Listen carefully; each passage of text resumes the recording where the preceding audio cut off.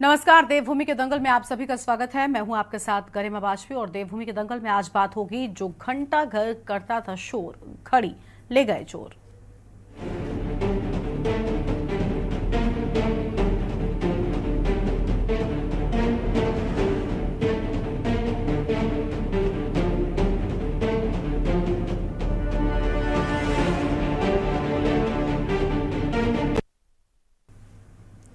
देवभूमि उत्तराखंड में बदहाल कानून व्यवस्था पर सियासत लगातार गर्माती जा रही है। कांग्रेस की ओर से राज्य में बढ़ते महिला अपराध के साथ ही बढ़ती लूट, चोरी, डकैती के विरोध में प्रदर्शन किया जा रहा है और उत्तराखंड के पूर्व मुख्यमंत्री और कांग्रेस के वरिष्ठ नेता हरीश रावत ने बदहाल कानून व्यवस्था के विरोध में गुरुवार को हरिद्वार में विशाल पदयात्रा करेंगे।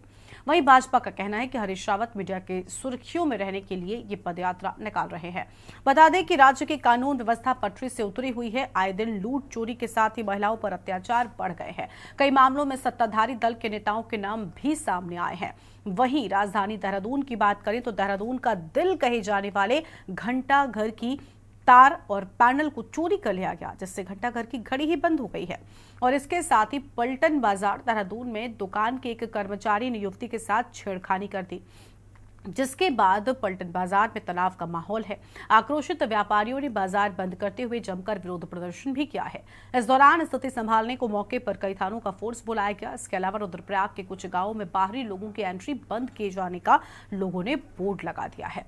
पहले इस बोर्ड पर गैर हिंदुओं के प्रवेश पर रोक लिखा हुआ था, लेकिन पुलिस प्रशासन की सख्ती के बाद साइन बोर्ड से गैर हिंदू शब्द मिटा दिया गया है। अब सवाल यह है कि आखिर क्यों राज्य की कानून व्यवस्था पर लगातार सवाल खड़े हो रहे हैं?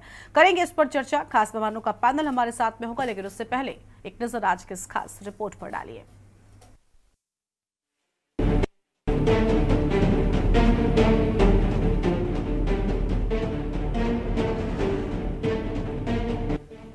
उत्तराखंड की शांति में अपराध की संख्या लगातार बढ़ रही है। आए दिन अपराधों की बढ़ती संख्या शांतिवादियों के इस प्रदेश में चिंता बढ़ा रहे हैं। आलम यह है कि महिला अपराधों के मामले में उत्तराखंड नौ पहाड़ी राज्यों में टॉप पर है।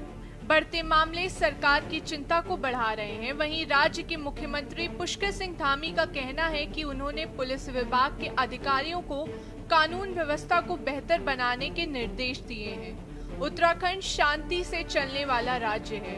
उन्होंने कहा कि अगर कोई कानून तोड़ेगा तो कानून उसके साथ सख्ती से काम करेगा। वहीं मुख्यमंत्री ने कहा कि कुछ लोग लव लैंड जिहाद को अपना लक्ष्य मानकर काम कर रहे हैं। हम अपनी बहन बेटियों के साथ धोखा नहीं होने देंगे।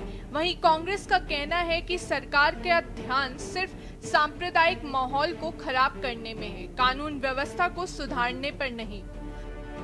बहुत शांतिपूर्ण तरीके से चलने वाला राज्य है। सभी एक दूसरे के साथ बहुत भाईचारे के साथ रहते हैं। और कोई भी अगर कानून को तोड़ेगा तो कानून उसके साथ सख्ती से काम करेगा। हाँ लेकिन ये ज़रूर है कि कुछ लोग लव जिहाद और लैंड जिहाद को अपना एक सुनियोजित एम मानकर जो काम कर रहे हैं, उनको, उनके लिए निश्चित रूप से उनको समझ लेना चाहिए कि किसी भी कीमत पर हम यहाँ की अपनी बहन बेटियों को कहीं पर भी जो है ऐसा नहीं होने देंगे उनके साथ धोखा नहीं होने देंगे और कोई भी करेगा तो कानूनी प्रक्रिया के तहत उस पर कठोर कार्रवाई होगी। ना ओवरऑल जब भाजपा के वहाँ विधायक का भाई इन्वॉल्व है यहाँ आय से अधिक संपत्ति का मामला उछल रहा एक डेलीगेशन गवर्नर साहब को मिला है तो जो हरिद्वार में जितने बीजेपी के विधायक होने के संबंधी नज़दीक वाले लोग इस सारे क्राइमों में निकल रहे एक तरफ़ से सीरीज़ निकल ली तो बीजेपी को शर्म कहाँ इस बात की? क्या कार्रवाई किसी खिलाफ हो रही? तो ये राज्य का भला थोड़ी चाह रही है तो माफियाओं को संरक्षण दे रहे उत्तराखंड को लूटने के लिए ये काम कर रहे इसलिए भू कानून समय की आवश्यकता है। कर्मचारियों की चिंता नहीं, किसानों की चिंता नहीं, बेरोजगारों की चिंता नहीं, पलायन की चिंता नहीं। आपको बता दें कि उत्तराखंड में अपराध का ग्राफ दिनों दिन बढ़ता जा रहा है। आए दिन लूट चोरी के साथ ही महिलाओं पर अत्याचार बढ़ गए हैं। कई मामलों में सत्ताधारी दल के नेताओं ने नाम भी सामने आए हैं। ये है कि देहरादून की पहचान कहे जाने वाले घंटाघर के तारों और पैनल को चोरों ने तीसरी बार चुरा लिया है। इसकी वजह से घंटाघर की घंटी बंद हो गई है। इसके साथ ही पलटन बाज़ार देहरादून में दुकान के एक कर्मचारी ने युवती के साथ छेड़खानी कर दी, जिसके बाद पलटन बाज़ार में तनाव का माहौल है। आक्रोशित व्यापारियों ने बाज़ार बंद करते हुए जमकर विरोध प्रदर्शन किया। इसके अलावा रुद्रप्रयाग के कुछ गाँव में बाहरी लोगों की एंट्री बंद किए जाने का लोगों ने बोर्ड लगा दिया है।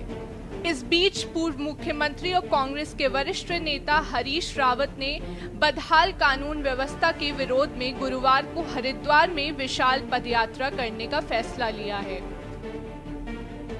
कानून व्यवस्था की स्थिति ध्वस्त हो गई है, और उसके खिलाफ कल मैं जो है चंद्राचार्य चौक से परशुराम चौक तक हरिद्वार के अंदर पदयात्रा करने जा रहे हैं साढ़े ग्यारह बात Bharatiya Janata party law and order बहुत अच्छे से संभाल रही है। जहाँ पे भी किसी भी प्रकार की अगर कोई घटना हो रही है तुरंत उस पर एक्शन लिया जा रहा है। तुरंत जो दोषी हैं आरोपी हैं उन पर एक्शन लेकर सरकार अपना कार्य कर रही है और नसीहत दे रही है। साफ़ सख्ती से निर्देश हैं जो भी आ, महिलाओं के प्रति गलत भावना रखेगा किसी भी प्रकार का जो जिस प्रकार से जो घटनाएँ हो रही हैं उन पर सख्ती से हम लोग उसमें पेश आ रहे हैं। और आपने देखा कि अभी जितने भी केसेस हुए हैं फास्ट ट्रैक में हमने उन केसेस को भेजा है। और फास्ट ट्रैक में भी हम चाहते हैं कि जल्द से जल्द उनका जैसे ही फॉरेंसिक जो रिपोर्ट्स आती हैं, उसके तहत उनका जल्दी निवारण हो और दोषियों को सजा मिले। कानून व्यवस्था में कोई कमी नहीं है, दुरुस्त है। बस उसको व्यवस्थित करने की आवश्यकता है। शहर के अंदर कौन आ रहा है, कौन जा रहा है, पता नहीं। कल पुलिस के द्वारा वेरिफिकेशन अभियान चलाया गया और वो वास्तव में सराहनीय था। पुलिस ने पूरे शहर में, पलटा बाज़ार में घूमने वाले ऐसे अवैध लोगों को उठाया जिनके जाँच किए, सत्यापित किए और जो लोग यहाँ नहीं थे, उनको वापस भेज दिया गया कि पहले अपना सत्यापन आप स्वयं करा के लाकर यहाँ कोतवाली क्षेत्र में जमा कराएँ। अब देखिए, महिला गश्त बढ़ गई है, पुलिस गश्त। करें संस्था प्रशासन से कि पलटन बाज़ार में महिला गश्त बढ़ाई जाए। जो किसी की कोई समस्या हो महिला की, वो उनको बता सके, साझा कर सके। आज दो गश्त बढ़ गई, लगातार बन गई है दो। और ये घड़ियों की सुई चोरी होने का कोई पार्ट चोरी होने का मामला है। और ये मामला भी उन्हीं से संबंधित है, जो लोग बाहर से आकर अवैध रूप से यहाँ रह रहे हैं और वो लोग अपने जीवन यापन के लिए कुछ भी कर जा रहे हैं। कुल मिलाकर राज्य में अपराध का ग्राफ बढ़ना चिंता की बात है। राज्य की स्थिति ये है कि ग्रामीणों को साइन बोर्ड लगाकर बाहरी लोगों को प्रवेश से रोकना पड़ रहा है। वहीं भाजपा के नेता ग्रामीणों को इस फैसले को सही बता रहे हैं। लेकिन सरकार के लिए ये चिंता की बात होनी चाहिए। सवाल ये है कि आखिर क्यों शांति प्रिय राज्य में कानून व्यवस्था की ये स्थिति हुई? आखिर क्यों सरकार के तमाम प्रयासों के बावजूद अपराध नहीं रुक रहे हैं? वहीं अब देखना होगा कि राज्य की कानून व्यवस्था में कब सुधार देखने को मिलता है। उत्तराखंड डेस्क रिपोर्ट और देवभूमि के दंगल में आज इसी मुद्दे पर करेंगे विस्तार से बातचीत। हमारे साथ में कुछ मेहमान जुड़ चुके हैं। हमारे साथ में पीसी थपलियाल साहब हैं, वरिष्ठ नेता हैं यूकेडी की ओर से और कुलदीप राणा जी हमारे साथ में हैं, वरिष्ठ पत्रकार हैं। बहुत स्वागत आप दोनों का। आगे हमारे साथ में कांग्रेस और बीजेपी के सदस्य भी जुड़ेंगे, लेकिन फ़िलहाल चर्चा आपके साथ में शुरू करते हैं। थपलियाल साहब, ये प्रदेश के साथ में क्या हो रहा है? देवभूमि हम कहते हैं, हमारे कार्यक्रम का नाम भी देवभूमि है। और देवभूमि है चार धामों की यात्रा है, न जाने कितने देवी देवता विराजमान है। और वहाँ पर आपराधिक घटनाएँ लगातार बढ़ती जा रही हैं। हर बार हर पार्टी के बड़े नेताओं की ओर से दावे किए जाते हैं कि देवभूमि को हम अपराध से बचा कर रखेंगे। लेकिन अब सोचिए ना, गलियों में सड़कों पर महिलाओं के साथ में छेड़खानी हो रही है। देवभूमि होने के साथ साथ पर्यटन स्थल के तौर पर भी उत्तराखंड को देखते हैं और विश्व भर में, विश्व के पटल पर वो काफ़ी ऊँचे स्थान पर आता है। तो ऐसे में अगर इस नगरी के साथ में, इस राज्य के साथ में ऐसी घटनाएँ बढ़ती जाएँगी, अपराध का आंकड़ा बढ़ता जाएगा तो भला ही अपना अस्तित्व खो नहीं देगा? समस्याएँ हम ज़्यादातर कुछ शहरों में देख रहे हैं हम्म। और जहाँ तक हम ग्रामीण इलाकों की बात करते हैं उत्तराखंड की तो वहाँ तक अभी तक जो इनका पुलिस प्रशासन सिस्टम है सरकार का अभी भी हमारे ग्रामीण रिमोट इलाकों में पटवारी सिस्टम्स हैं और पटवारी ही हमारी जो व्यवस्था है उसको लुकआउट करते हैं लेकिन यहाँ पे जो हम बहुत ज़्यादा उद्वेलित देख रहे हैं समाज को, उसका कारण ही इनका जो एजेंडा है। आज की तारीख में जो भारतीय जनता पार्टी का हाइडिंग एजेंडा है, क्योंकि वे विकास के फ्रंट से चारों तरफ़ से घिर गए हैं और भ्रष्टाचार में कोई जवाब नहीं दे पा रहे तो उनको एक ही तरीका है बचने का कि ऐसी समस्याओं का उठाएँ जो उन्हीं के लिए गले की सांस बन रही है। एक मुख्यमंत्री का ये कहना कि महिलाएँ में कुछ प्रवृत्ति के लोग जा रहे हैं लव जिहाद और लैंड जिहाद इस राज्य में कर रहे हैं ये बहुत ही अशोभनीय शब्द है मुख्यमंत्री के। क्या वो उत्तराखंड की महिलाओं को इतना कमज़ोर समझ रहे हैं? ये जो लोग आज चिल्ला चिल्ला कर नुमाइश लगा रहे हैं उत्तराखंड की महिलाओं का केवल अपने वोट के खातिर अपने जो उन्माद फैलाने के खातिर वो उन्मादी लोग हमारी महिलाओं को टारगेट बना रहे हैं। जबकि हमारी महिलाएँ इनकी राजनीति के लिए हमेशा सहयोगी रही हैं। जब इन्होंने बोला कि साहब अयोध्या चलो अयोध्या चलो तो ये अयोध्या भी गई हमारी महिलाएँ। हमारी महिलाओं को राम से बहुत ज़्यादा लेना देना नहीं है अयोध्या के। क्योंकि यहाँ पे खुद रघुनाथ जी का मंदिर है, यहाँ पे हमारे देवी देवताओं का बहुत बड़ा जो सिस्टम है, वो बिल्कुल हमारी सामाजिक ताना बाना बिल्कुल अलग है। इसके बावजूद हमारी महिलाएँ पूरे तौर से इनको ताकत दी उत्तर प्रदेश की महिलाओं को नहीं ला पाए अयोध्या में। लेकिन हमारी महिलाओं के लिए इन्होंने स्पेशल ट्रेन लगाई और वहाँ ले गए। लेकिन ये बोलना कि उत्तराखंड की महिलाएँ इतनी कमज़ोर हैं कि बाहरी जो लोग आ रहे हैं कभी रोहिंगा बोलते हैं, कभी क्या क्या बोलते हैं ये लोग। और वो बहुत असुरक्षित कर रहे हैं हमारे माहौल को। ये बहुत ही अशोभनीय है इस दल को, जो इस तह की राजनीति उत्तराखंड में पैदा कर रहा है। आपने देखा होगा कि रुद्रप्रयाग में या हमारे पलटन बाज़ार में, लेकिन जब बात चलती है कि साहब ये उधम सिंह नगर या सल्ट में जो दो दो घटनाएँ उधर भी हुई हैं, वहाँ कोई उन्माद नहीं होता। वो उन्माद यानी कभी भी अपराध के दो पैरामीटर नहीं होने चाहिए। अपराधी कोई धर्म के आधार पे अपराधी नहीं होता अपराधी अपराधी होते हैं। लेकिन ये ये लोग एकदम एक नया माहौल क्रिएट कर रहे हैं। आप ये देखिए कि यहाँ तक जो इनके बहुत प्रमुख उछल कूद कर रहे हैं जो लोग जिनको ठेका दे रखा है उन्माद फैलाने का वो कह रहे हैं कि घंटाघर की स्वीवी हम्म। वही लोग पहाड़ी लोग लेके गए हैं। तो ये बहुत हँसी आ रही है हमें। यहाँ पे व्यवस्था बहुत ही बिल्कुल देखिए ना आप अपनी मैंने मैंने आपसे सवाल में ही कहा था यहाँ पे आपकी कहीं ना कहीं अस्तित्व कुछ चीज़ें आपकी पहचान बन जाती है और ऐसे ही देहरादून में जिस तरीके से या उत्तराखंड कह लें घंटा घर की घड़ी जो है वो उसकी पहचान है लोग वहाँ पर जाते हैं कितनी सारी फ़ोटोज़ क्लिक करवाते हैं तो इन चीज़ों को धरोहर के तौर पर देखना चाहिए, भले ही वो छोटी हो या बड़ी हो। अगर आपके यहाँ कोई भी चीज़ ऐसी है जो लोगों के बीच लोकप्रिय है तो उन चीज़ों को बचा कर रखना चाहिए। चलिए ठीक है, लौटेंगे आपके पास में। और मेहमान हमारे साथ में जुड़ चुके हैं। सुनीता विद्यार्थी जी हैं, प्रदेश प्रवक्ता, बीजेपी की ओर से बहुत स्वागत। सुनीता जी, आपका भी और गिरिराज किशोर हिंदवान जी हमारे साथ में है, प्रदेश प्रवक्ता, कांग्रेस पार्टी की ओर से बहुत स्वागत सर आपका भी। चर्चा में आगे बढ़ेंगे, उससे पहले कुलदीप जी पहले से जुड़े हुए हैं इसलिए उनकी प्रतिक्रिया पहले लेते हैं। कुलदीप जी ये क्या हो रहा है? क्योंकि जो भी घटनाएँ हो रही हैं, लूट हो गई, चोरी, डकैती, और अब तो मतलब कह रहे हैं ना कि आप सोचिए, तार चोरी हो गए। और जिसके चलते बड़े स्तर पर इसलिए ये हुआ, पकड़ा गया ये मामला क्योंकि घंटाघर की घड़ी खराब हो गई। अब आप समझिए कि किस हद तक अव्यवस्था है और किस हद तक प्रशासन का डर नहीं है। और क्या स्थिति हो गई है? आप अपने शब्दों में बयान कीजिए। मैं चाहती थी हालाँकि आप सभी प्रवक्ताओं की बात सुन लो उसके बाद मैं आपकी प्रतिक्रिया लूँ लेकिन क्योंकि बाकी लोग बाद में जुड़े इसलिए मैं चाहती हूँ आप पहले अपनी बात रखें। सर अनम्यूट कीजिए पहले तो आपकी आवाज़ नहीं मिल रही है कुलदीप जी। हाँ, क्षमा कीजिएगा। हाँ। आ, मैं दो उदाहरण के साथ आ, अपनी बात मैं शुरू करूँगा। जी। पहला उदाहरण ये खुद से ही मेरा फिर मुझसे जुड़ा हुआ है। ये हम्म। वर्ष तिरानबे चौरानबे की बात है नाइन्टी फोर नाइन्टी फाइव की बात है जी। हम लोग स्कूल कॉलेजों के में पढ़ते थे और मैं क्योंकि एक पहाड़ी सीमान ज़िले से आता हूँ हम्म। और डिस्ट्रिक्ट हेडक्वार्टर मैं चमोली ज़िले का डिस्ट्रिक्ट हेडक्वार्टर है गोपेश्वर वहाँ मेरा घर है तो हमारे घर के बाहर एक सड़क तो नहीं कह सकते हैं लेकिन गाँव मोहल्ले की एक गली थी तो हम लोग पढ़ते थे मैं साइंस का स्टूडेंट रहा हूँ देर रात तक पढ़ना होता था तो हम रात को 12-1 बजे करीब अक्सर हमारे घर के पास से पुलिस की गश्त गुजरती थी। हम्म। आठ दस सिपाही पुलिस के वहाँ से गुजरते थे और वो सड़कों पर लाठियाँ मारते हुए और सीटी बजाते हुए चलते थे और जाके ठीक है? लाठी मारना पुलिस का अपना साइन है। ठीक है? बजाते हुए इस तरह से। हाँ, हाँ वो गश्त करते थे।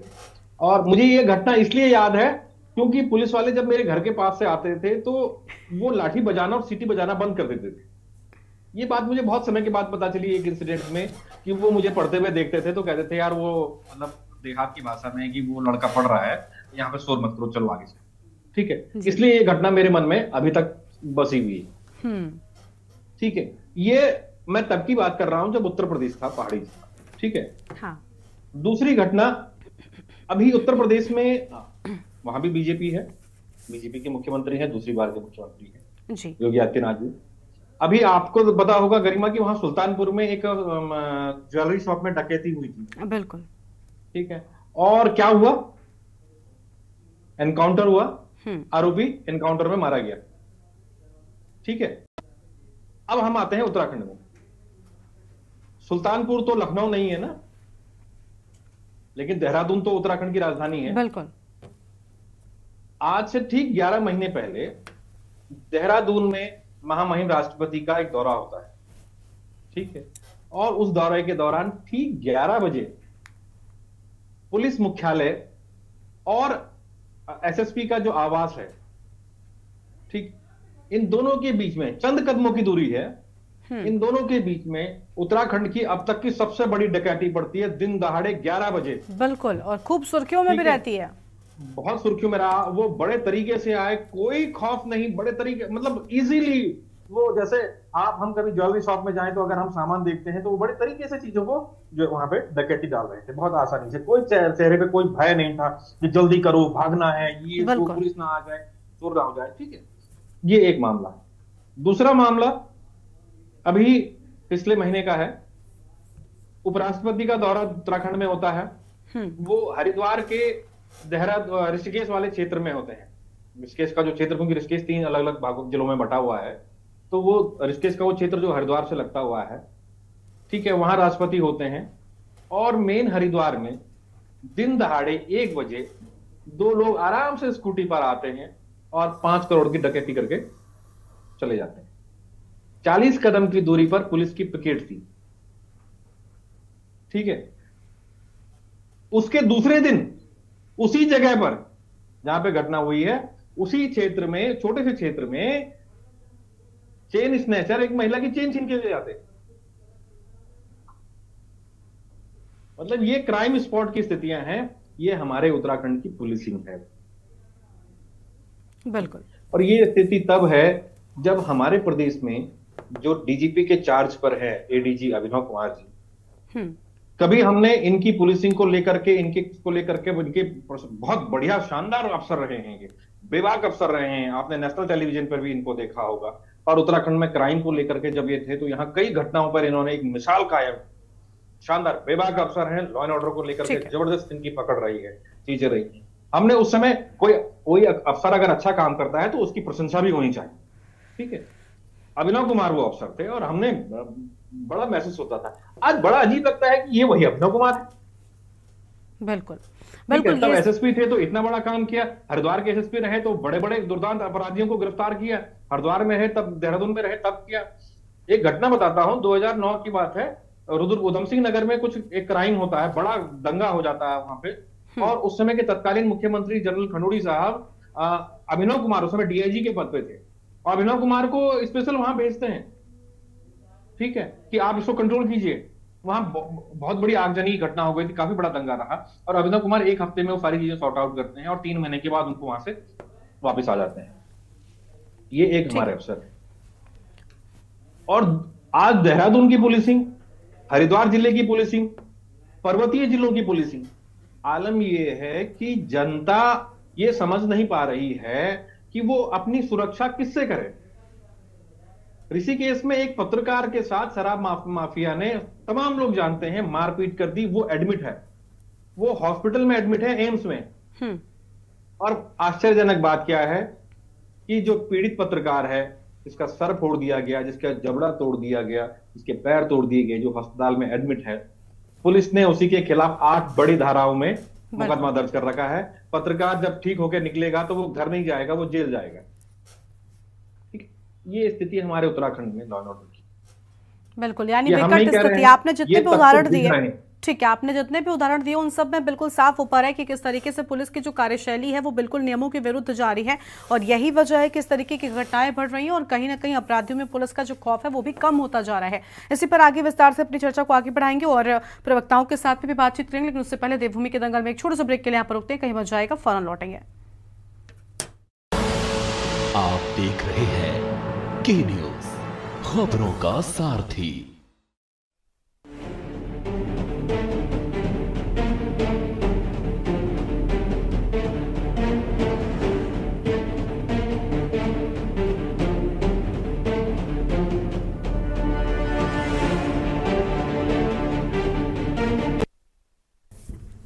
ब्रेक के बाद देवभूमि के दंगल में आप सभी का स्वागत है। खास मेहमान हमारे साथ में लगातार बने हुए, चर्चा को आगे बढ़ाएँगे। हमारे साथ में गिरिराज किशोर हिंदवान जी हैं, प्रदेश प्रवक्ता, कांग्रेस पार्टी की ओर से। उनके साथ में इस बार शुरुआत करते हैं। बीजेपी फ़िलहाल सुनीता जी नहीं मौजूद है। गिरिराज जी, क्या चल रहा है विपक्ष? लगातार इस सबको लेकर सवाल उठा रहा है कि आखिर कैसे इस तरीके की घटनाएँ बढ़ती जा रही है? एक के बाद एक, चाहे युवती से छेड़छाड़ हो दिन दहाड़े डकैती हो लूट हो चुनौती हो देवभूमि में ये स्थिति आप किसे जिम्मेदार मान रहे हैं। हालाँकि विपक्ष सवाल इस पर लगातार उठा रहा है। गरिमा जी हम्म। सात वर्षों से भाजपा उत्तराखंड में शासित है। साल दर साल जो स्थितियाँ हैं कानून व्यवस्था जो आज ध्वस्त लॉ एंड ऑर्डर जो है ध्वस्त बताया जा रहा है उत्तराखंड का आज लगभग चरम पे हम लोग हैं जो आज जो स्थितियाँ हैं इस समय गरिमा जी उत्तराखंड में आज पूरी तरह से पुलिसिंग जो है या इंटेलिजेंस जो इनकी एलआईओ है ये पूरी तरह से फेल्यूर है आज जो घटनाएँ जो है हम्म। अभी जो मैं अभी सुन रहा था सीएम साहब का एक मैं बाइट अभी सुन रहा था सीएम साहब कहीं सिकन नहीं माथे पे गरिमा जी, मुझे इस बात को लेके वाकई जो है, बड़ा आश्चर्य मुझे होता है कि मुखिया के कोई, कहीं कोई सिकन नहीं है। आज जो स्टेटमेंट है उनका, कि उत्तराखंड जो है, शांति का प्रतीक है, शांति प्रिय प्रदेश है। आप ऐसे स्टेटमेंट दिए जा रहे हैं और घटनाएँ जो है, अपना मूर्त रूप लिए जा रही हैं। अभी कुलदीप जी ने जो घटना अभी आपके सामने रखी आप सोचिए, रिलायंस का जो ज्वेलरी शोरूम है, दिन दहाड़े राष्ट्रपति जी की प्रेजेंस देहरादून में, करोड़ों रुपए की लूट हो जाती है, और आज तक उन लुटेरों का पता नहीं है, गरिमा जी।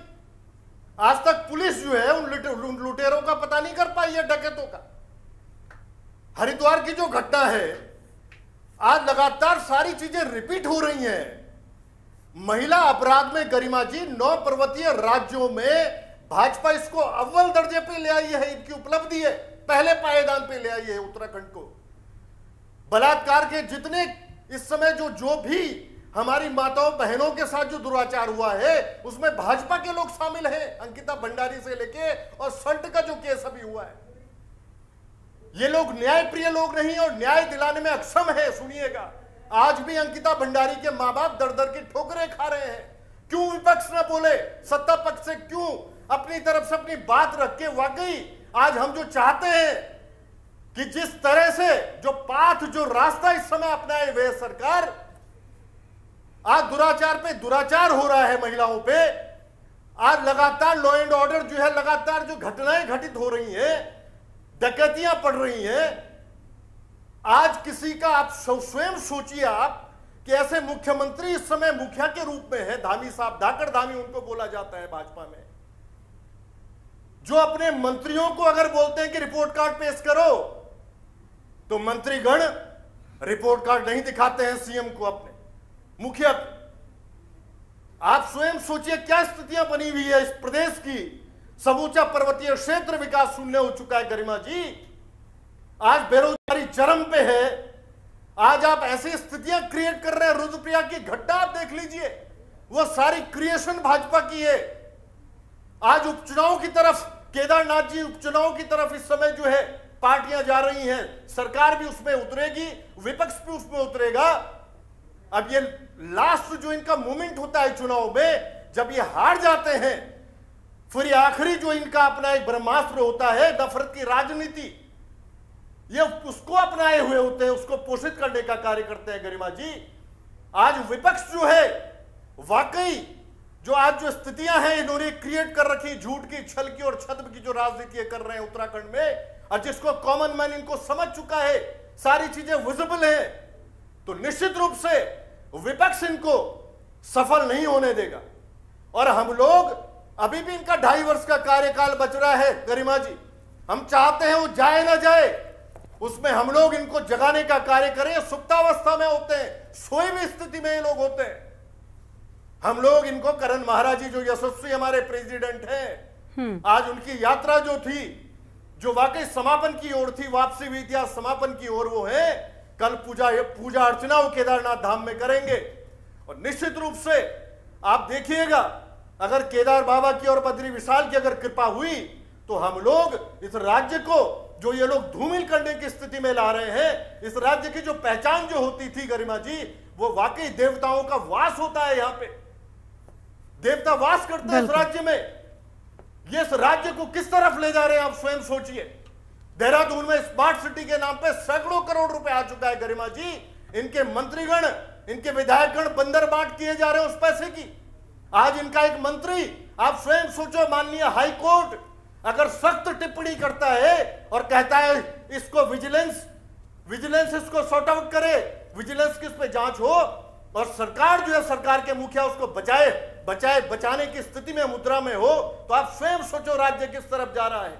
एक भ्रष्ट मंत्री को बर्खास्त करने का कार्य इस समय हमारे मुखिया को करना चाहिए था जो सरकार के सरकार में इस समय मुख्यमंत्री के पद में है लेकिन नहीं ऐसा नहीं करेंगे। स्थितियाँ ऐसी बनी हुई आप स्वयं सोचो। इससे क्या किस तरफ़ ये सारा दे रही है ये सारी चीज़ें? आप स्वयं सोचिए गरिमा जी ठीक है, यानी आपको लग रहा है कि स्थितियाँ बिल्कुल ठीक नहीं हो और सरकार भी अगर बेहतर कदम उठाएगी तो कहीं ना कहीं जो पुलिस महकमा है उस पर लगाम लगेगी। कुलदीप जी के पास एक बार फिर से जाएँगे। सुनीता जी का नेटवर्क नहीं आ रहा है, उनसे बात नहीं हो पा रही है। कुलदीप जी उत्तराखंड में ब्यूरोक्रेसी और सरकार के बीच में सामंजस्य को लेकर कई बार हमने खुद चर्चा भी की हो और खूब वो पूरा मामला चर्चा में भी बहुत रहता है। क्या वाकई में ऐसा होता है? क्योंकि कई बार जब हम सरकार के प्रतिनिधियों से पूछते हैं कि ऐसा क्यों हो रहा है, ऐसी घटनाएँ क्यों हो रही हैं तो वो ये हवाला देते हैं कि ब्यूरोक्रेट्स उनके सुनते नहीं है, या पुलिस के जो वरिष्ठ अधिकारी हैं वो उनकी नहीं मानते। ऐसा क्यों होता है? और क्या ये जो फ़िलहाल अपराध बढ़ रहा है, इस मामले में भी पुलिस महकमा सुनने को तैयार नहीं है, या सरकार की ओर से ही सख्त कदम उठाए नहीं जा रहे? क्योंकि अगर मुख्यमंत्री चाहेंगे तो ऐसा तो नहीं है कि इस तरीके की घटनाओं पर लगाम नहीं लगेगी। आप पुलिस सख्त कर दीजिए, देखिए कैसे इन चीज़ों पर लगाम लगती है। आंकड़ा बढ़ रहा है तो इस पर तो विचार करना चाहिए ना। एनसीआरबी की रिपोर्ट में भी हमने देखा, उत्तराखंड मतलब रेप के मामलों में ही जाने कितने गुना आगे बढ़ चुका है। तो ये सारी चीज़ें क्या सरकार के प्रतिनिधियों के बीच में चर्चा का विषय नहीं रहती? सर अनम्यूट कर लीजिए। हाँ। देखिए ब्यूरोक्रेसी जवाबदेह होती है सरकार के लिए। हम्म। और सरकार जवाबदेह होती है जनता के लिए। ठीक है? और जब ये जवाबदेही कटघरे में होती है तो ये तमाम परिस्थितियाँ पैदा होती ठीक है? उत्तराखंड बड़ा शानदार प्रदेश है। इसमें कोई संदेह नहीं है कि ये शांति प्रिय प्रदेश है, क्योंकि पहाड़ के लोग शांति प्रिय लोग लेकिन पहाड़ के लोगों का शौर्य कम नहीं है। ये भारत देश का एकमात्र राज्य है, जिसमें मात्र तेरह ज़िले हैं। और तेरह जिलों के इस राज्य में दो मंडल हैं और दोनों मंडलों में भारतीय सेना में दो अलग अलग रेजिमेंट हैं, गढ़वाल राइफल और कुमाऊं रेजिमेंट। ठीक एक पूरी यूनिट यहाँ से जाती है, दो अलग अलग यूनिटें यहाँ से जाती हैं। बीएसएफ यहाँ पर है सीआरपीएफ यहाँ पर है। आपने देखा होगा कि तमाम कोस्ट गार्ड्स के लोग यहाँ पर हैं एयरफोर्स के लोग यहाँ रहते हैं, पुलिस में लोग यहाँ पर हैं। जो लोग इन, इस तरह के लोग होंगे, वो कमज़ोर नहीं। लेकिन जो हमारी व्यवस्थाएँ हैं, वो व्यवस्थाएँ इस तरह की हो गई हैं, जिसने जनमानस के मन में अब ये डर पैदा कर लिया है कि कहीं आवाज़ उठाएँगे तो हमारे खिलाफ भी तो नहीं हो जाएगा। क्योंकि मैंने आपको जो ऋषिकेश वाला उदाहरण दिया हम्म। ठीक है जिसमें कोई छानबीन नहीं हुई। जब बात उठी तो 11 बजे पत्रकार के खिलाफ एफआईआर दर्ज हो गई। आरोपी का पता नहीं था ठीक तो इस तरह की घटनाएँ और उत्तराखंड में एक बड़ी समस्या क्या हो गई है कि यहाँ छोटी छोटी विधानसभाएँ हैं लोग सिर्फ़ अपनी विधानसभाओं तक सीमित हैं। उनको मालूम है कि विधानसभा में हमें जीतना है और यहाँ तो तीस बत्तीस हज़ार में आप चुनाव जीत जाते हैं। आपको बहुत ज़्यादा मेहनत भी नहीं करनी है बहुत ज़्यादा मत वोट भी नहीं चाहिए। तीस बत्तीस हज़ार आपके वोट है उनको संभाल के रखो। इतने में आपको जीत हासिल हो जाती है।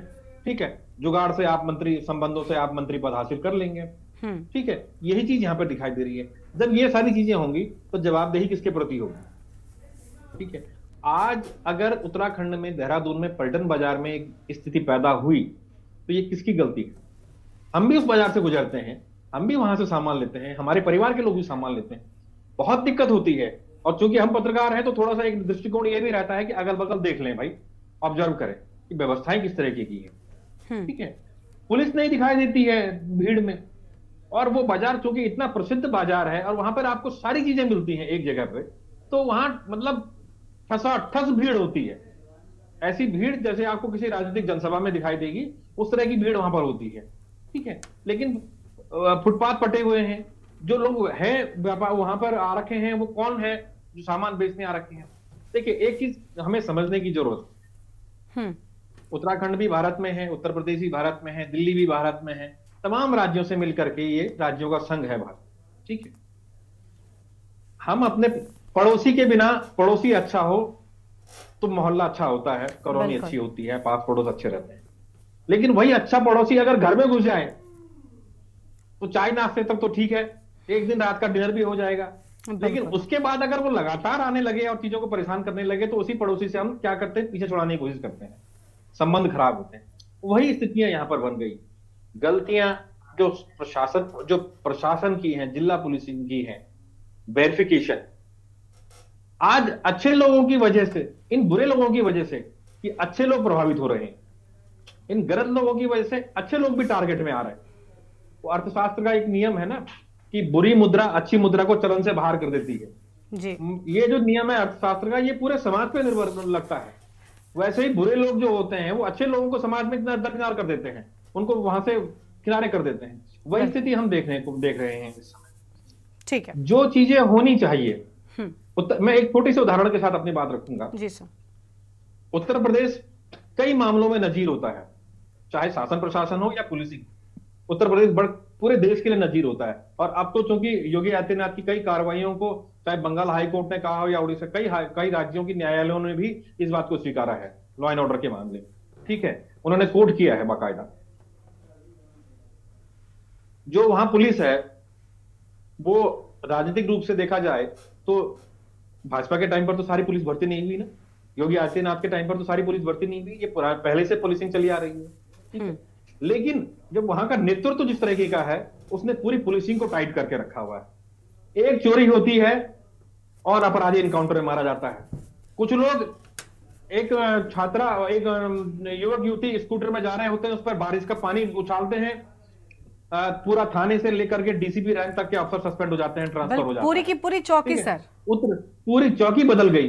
उत्तराखंड में इतनी बड़ा डाका होता है हाँ। थाना चौकी मतलब बड़े अफसर तो छोड़िए यहाँ थाना चौकी तक नहीं बदली गई। ठीक है? तो क्या मैसेज जाएगा? पुलिस ही एकमात्र मैसेज होती है जो सरकार का चेहरा होती है जनता में क्योंकि पुलिस डेली डील करती है जनता को। तो जैसी पुलिस दिखाई देगी जनता में सरकार के प्रति उसी तरीके की धारणा भी बनती। और वैसा ही भय अपराधियों में भी बनेगा कहीं ना कहीं अगर आप सख्त एक्शन लेंगे उत्तर प्रदेश में आज ये हालात है कि अगर आप इस तरीके का काम करते हैं तो इतनी उदाहरण आपके सामने है इतनी नजीर पहले ही पुलिस पेश कर चुकी है कि आपको वाकई में डर लगेगा इस तरीके की हरकत करने से पहले। किसी भी ऐसे अपराध को अवॉइड नहीं किया जा सकता। ठीक है बहुत अच्छे बहुत अच्छे उदाहरण आपकी ओर से दिए गए कुलदीप जी। चलिए ठीक है आगे बढ़ते हैं। सुनीता विद्यार्थी जी हमारे साथ में जुड़ चुके हैं। बहुत स्वागत मैम आपका काफ़ी देरी से आप आई। देखिए सबसे पहले तो वैसे मैं आप ही की प्रतिक्रिया लेती हूँ इस मुद्दे पर क्योंकि जवाबदेही सबसे ज़्यादा आपकी ही बनती है सत्ता में आप हैं। और मैम एनसीआरबी के आंकड़े आज ये विपक्षों के आंकड़े नहीं है। मैं बार बार आपको स्पेशल कोट कर रही हूँ कि एनसीआरबी के आंकड़े हैं किसी विपक्षी दल के नहीं किसी भी प्रवक्ता के नहीं किसी के भी नहीं है किसी पत्रकार के नहीं है। इन पर तो विश्वास करेंगे ना। मैम, नौ गुना मुझे जितना याद आ रहा है, रेप के मामलों में वृद्धि हुई है। डकैती हो दन दहाड़े आपके यहाँ पर डकैती होती है। गलियों में जा रही लड़कियों के साथ में छेड़छाड़ हो जाती है। प्रदेश को हम देवभूमि कहते हैं और पर्यटन स्थल के नाम पर देश, दुनिया के लोग यहाँ पर आते हैं। कई चीज़ों के लिए मशहूर है उत्तराखंड। क्या ऐसे बचाएँगे उत्तराखंड की इज़्ज़त को हम? क्या कर रही है पुलिस आपके? जी गरिमा जी देखिए जिस प्रकार से ये घंटा घर की जो चोरी का मामला है ये सामने आया है बहुत ही गंभीर विषय है क्योंकि सबसे बड़ी बात ये है कि घंटा घर कोई छोटी मोटी चीज़ नहीं है। आपने देखा कि जब भी भारतीय जनता पार्टी की सरकार रही है, घंटा घर को एक हेरिटेज के रूप में हम सबने देखा है और उसका संरक्षण और संवर्धन किया है। और यहाँ पे मैं आपको बता दूँ कि 1948 में सरोजनी नायडू जी के माध्यम से इसका पूरा उद्घाटन हुआ था और ये बड़ा यूनिक प्रकार का एक ऐसा घंटा घर है जो सिक्स फेसिस है और सिक्स क्लॉक्स उसमें है। लेकिन जो अभी आप देख रहे हैं कि मैं खुद कल वहाँ पे जब हमारे नगर निगम आयुक्त वहाँ पे पूरी टीम लेकर पहुँचे थे तो मैं भी वहाँ पे उपस्थित थी। और मैंने पूरा अंदर, क्योंकि निरीक्षण चल रहा था, पूरी समीक्षा हो रही थी कि क्या है, क्या नहीं है तो हमने वो सारी चीज़ें देखी वहाँ पे कि किस प्रकार से चारों तरफ़ कैमराज हैं। उसके बावजूद अगर चोरी हो जाती है तो देखिए, ये बहुत गंभीर विषय है। कहीं ना कहीं लॉ एंड ऑर्डर को जिस प्रकार से ये चैलेंज किया जा रहा है, विभिन्न आयामों से, ये बहुत गंभीर है। और यहाँ पे देखिए, क्योंकि पहले कभी ये चीज़ें हुई नहीं है तो हमें देवभूमि उत्तराखंड में जब ऐसी वारदातें सामने आती हैं तो हमको लगता है कि हम लोग अपने प्रदेश में हैं या नहीं है? क्योंकि बाहर तो हमने, कई बार हम दिल्ली जाते हैं, कई एनसीआर में जाते हैं तो कई बार ऐसी चीज़ें, एक खौफ रहता है दिमाग में कि चोरी ना हो जाए। कोई गलत ना हो जाए हम अवेयर रहते हैं हमेशा लेकिन शांति प्रिय प्रदेश के अंदर इस प्रकार की वारदातें जिस प्रकार अभी आप देख रहे हैं कि जो दुष्कर्म के मामले आ रहे हैं और महिला सुरक्षा को लेके तमाम इंतज़ाम होने के बाद भी ये बिल्कुल जैसे नेगी जी कह रहे थे कि अगर उत्तर प्रदेश की बात होती है तो वहाँ पे एनकाउंटर्स हो जाते हैं हम्म। देखिए ये व्यवस्थाओं को चैलेंज करना और इस तरीके की चीज़ें क्योंकि एनकाउंटर भी आप देखिए कि एनकाउंटर तभी होंगे ना जब वो व्यवस्था के ऊपर आघात करने की कोशिश करेंगे। ऐसे तो नहीं कि किसी चोर को पकड़ा और डायरेक्ट शूट आउट कर दिया। सुनिए देखिए तो सुनीता जी सुनीता जी आपने आपने अगर अगर आपने उनकी इस बात को सुना तो बहुत हल्के में लिया मुझे लगता है। वो एक उदाहरण था और ये बताने की कोशिश की गई कि देखिए किस तरीके की कार्यशैली रहती है। कुलदीप जी कुछ कह भी ना अपनी बात को करेक्ट मतलब आपको समझाने के लिए। मैं एक बार चाहती हूँ उनको सुन लें। आप फिर अपनी बात को पूरा करें।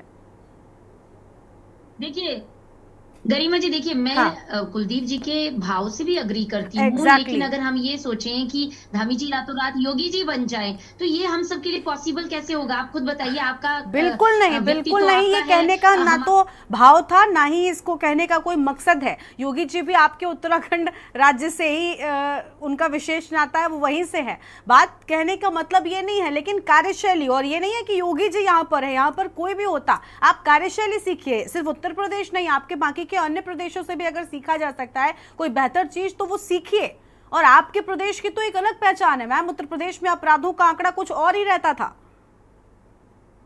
बिल्कुल बिल्कुल वही मैं कह रही हूँ कि देखिए यहाँ पे वहाँ तो हम्म। माफियों का जिस प्रकार से जो जमावड़ा रहता था तो वो वारदातें भी दिमाग में कहीं ना कहीं रहती थी। लेकिन हमारे उत्तराखंड में कभी इस प्रकार की घटनाएँ नहीं हुई तो हमें सुनने में बहुत अटपटा लगता है यहाँ रेप हो गया यहाँ ऐसा हो गया। तो एक निश्चित रूप से खौफ रहना चाहिए और ये खौफ अब ज़रूरी हो गया है क्योंकि माफिया जो है वो इस कदर मेरे को लग रहा है कि कहीं ना कहीं से एक सॉफ्ट कॉर्नर उन्होंने उत्तराखंड को बनाया है। तो यहाँ पे रोक लगनी बहुत आवश्यक है बिल्कुल ठीक कह रही हैं आप सॉफ्ट कॉर्नर या हम कह सकते हैं कई बार तो ऐसी भी खबरें सामने हाँ, आती है कि दूसरे प्रदेशों के माफिया भागकर उत्तराखंड में छिप जाते हैं। तो आप अपनी पुलिस को इतनी सख्ती क्यों नहीं सिखाते? हम ये नहीं कह रहे कि धामी जी को योगी जी बनना है लेकिन कम से कम पुलिस की कार्यशैली तो योगी जी की पुलिस जैसी हो सकती है ना?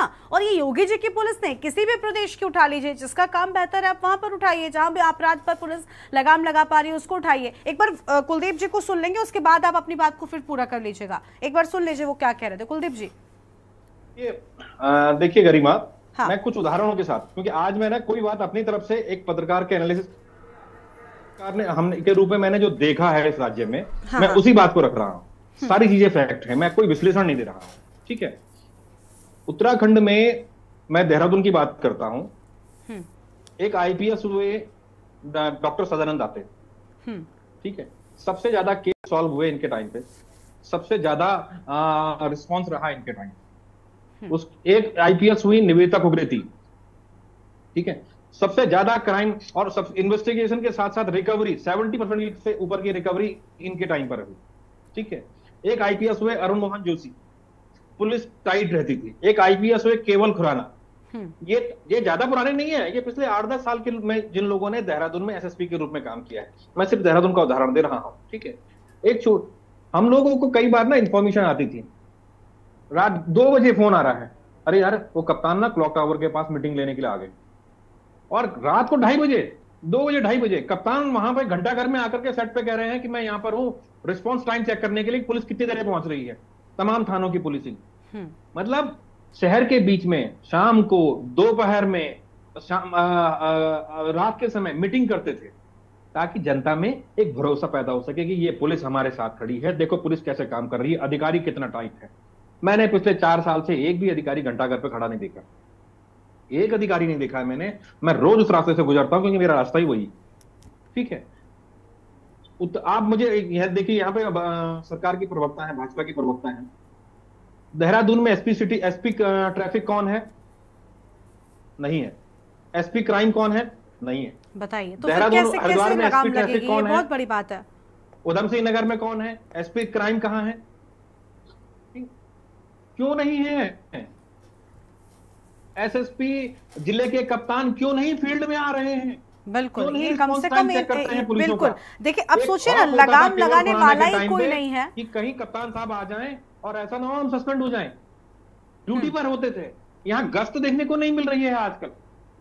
वरना रात को कई बार हमें पुलिस के हुटर की आवाज़ सुनाई देती थी। तो एक रहता था कि मन में कि अच्छा चलो। आज की डेट में गरिमा अगर मैं यहाँ आपके स्टूडियो में बैठ करके मैं ये डिबेट कर रहा हूँ तो अगर देहरादून के सबसे मतलब हार्ट ऑफ़ द सिटी और सबसे ज़्यादा खुले इलाके जो चारों तरफ़ से सड़कें हैं खुला इलाका है क्लॉक टावर अगर उसमें चोरी हो सकती है और वो भी कहा जब 20 फीट ऊँचा है 20 फीट ऊँचा है चारों तरफ़ सीसीटीवी है उसके ठीक नीचे पुलिस की गुमटी है 100 मीटर आगे जाकर के पुलिस का कोतवाली है 200 मीटर आगे जाकर के आईजी रेंज और बिज़ी एरिया है। सबसे बड़ी बात एक वेस्ट वेस्ट इलाका भी है। ऐसा नहीं है कि कोई सन्नाटे से हो ये डर है कि कहीं मेरा घर सुरक्षित है या नहीं है। बिल्कुल। घंटा घर में ये हो सकता है तो मेरे को घर मेरा घर सुरक्षित है या नहीं है? मेरे बूढ़े माँ बाप सुरक्षित है या नहीं है? मैं इस डर में हूँ मैं। बिल्कुल बिल्कुल ठीक बात है। देखिए आपने अभी जो बातें कही ना कि यहाँ पर कई सारे ऐसी चीज़ें हैं जो जिम्मेदार हैं वो पद खाली है तो ये काम करना तो सरकार की ज़िम्मेदारी है। अब इसमें कोई कुछ नहीं कर सकता तो विपक्ष जो बातें कह रहा है बिल्कुल ठीक कह रहा है सुनीता जी। गिरिराज जी को एक बार सुनेंगे उसके बाद आपके पास में आएँगे। गिरिराज जी यानी विपक्ष की बात ठीक है कि आंकड़े बढ़ रहे हैं और सरकार कुछ नहीं कर रही है चुप्पी साधे बैठी है। बात क्या है मैं आपको? अभी मैं कुलदीप जी को भी सुन रहा था बड़ी बारीकी से उनका जो एनालिसिस होता है लगभग बड़े अच्छे उन्होंने उदाहरण भी दिए उनको। उनको सुनने की इच्छा होती है। हम्म। गरिमा जी गरिमा जी सबसे बड़ी बात क्या है कि इनके प्रवक्तागण हो चाहे इनकी लीडरशिप हो हम्म। वो क्लेरिफिकेशन पे क्लेरिफिकेशन दिए जाते हैं और साथ में सवालों से बचने की कोशिश करते हैं इनके प्रवक्ता आज सारी बातें बड़ी घुमा फिरा के हो रही हैं। आज स्थिति यह है, प्रदेश में सात वर्षों से आप शासित हैं। भाजपा रूल कर रही है। सवाल जो बनते हैं वो भाजपा से बनते हैं, गरीबा जी अगर law and law and order की बात हो रही है, कानून व्यवस्था अगर वाकई ध्वस्त बताई जा रही है विपक्ष के द्वारा यह कॉमन मैन भी इस बात को बोल रहा है, जो सारी चीज़ें विजिबल है। दिन दहाड़े डकैतियाँ हो, स्वयं सोचो आप। आज अगर मैं कह रहा हूँ आपसे कि नौ राज्यों में, नौ पर्वतीय राज्यों में पहले पायदान पे भाजपा इसको महिला अपराध में लिया है इस राज्य को। और शांति प्रिय और शांति का प्रतीक इसको मुखिया बता रहे हो, मुख्यमंत्री बता रहे हो राज्य के, कि राज्य वाकई जो है यहाँ पे तो देव, देवता लोग वास करते हैं। वाकई देवताओं का वास है इस राज्य में।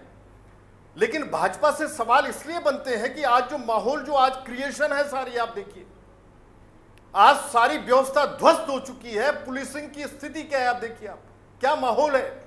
अभी जो कुलदीप जी सवाल रख रहे थे, बात रख रहे थे कि कोई अधिकारी नहीं दिखता है, घंटा घर आप सोचो।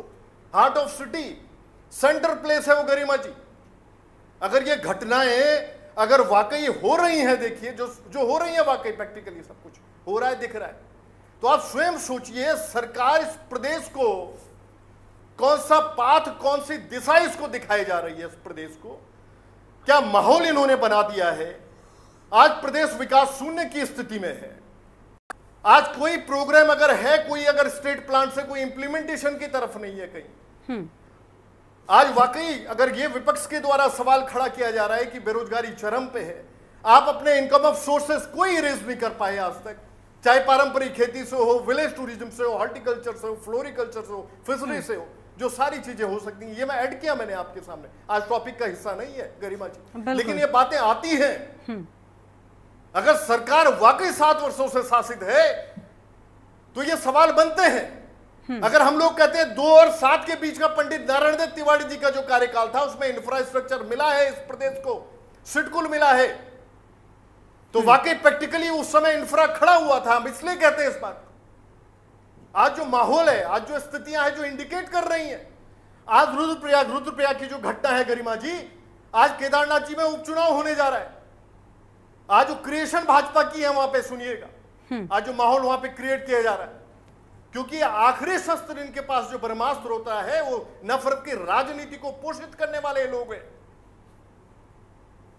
ये माहौल नहीं चलने देगी। ये निश्चित रूप से कांग्रेस पार्टी विपक्ष के रूप में अगर है तो असेंबली में भी जब डिबेट हमारे जितने भी असेंबली में डिबेट में पार्टिसिपेट करते हैं विधायकगण, वो भी इस बात को पुरजोर तरीके से रखेंगे कि राज्य को हम सही दिशा देने की कोशिश अगर आप नहीं करेंगे तो आपको जगाने का, आपकी जो सुप्तावस्था में सोई स्थिति में सरकार होती है, उनको जगाने का कार्य विधायकगण भी करेंगे और यहाँ संगठन भी करेगा हमारे यशस्वी, जो हमारे अध्यक्ष जो करण महाराज जी उनके नेतृत्व, पूरा संगठन करेगा। ठीक है। सुनीता जी के पास में चलते हैं। सुनीता जी, अभी कुलदीप जी ने अभी साफ़ तौर पर कितने सारे पद गिरा दिए कि ये पद खाली हैं। आप भी उस चीज़ को सुन रही थी, उस वक्त आप थी। तो ये बड़ी बात है कि मैम कैसे आप कह रही हैं कि हम, पहली बात तो उन्होंने आपने पहले जवाब में उनकी बात को पकड़ा कि भाई धामी जी, योगी जी नहीं बन सकते, ठीक है। लेकिन क्या ये पद नहीं भरे जा सकते? जब सोचिए एक जिम्मेदार व्यक्ति जवाबदेह व्यक्ति की तैनाती ही नहीं है तो उसके लिए जिम्मेदार भी कौन है? अगर आप सही तरीके से आज आप यहाँ पर बैठकर कह दें कि हम इस मामले में एक्शन लेंगे लेकिन किस पर लेंगी? ये भी तो बड़ी बात है ना?